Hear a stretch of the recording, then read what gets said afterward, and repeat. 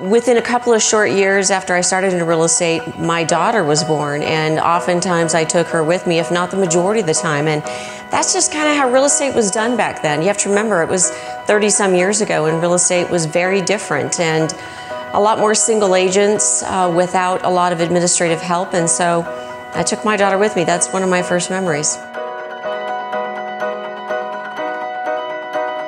I would say in our business, you know, certainly setting a higher standard is important to us. What that really means to our clients is they come first.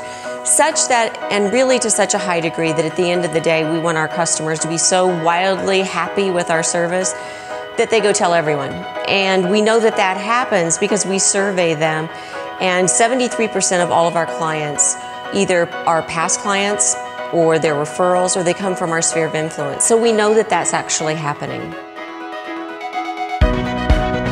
What really separates us from our competition is the fact that we have deliverable systems and services that people can count on. So they know that when they come to us, there's going to be a certain expectation that's going to be delivered, whether you're in Anchorage or in Denver. And people like that. They know that they can count on us. We've been in business 33 years, and our experience really speaks for itself.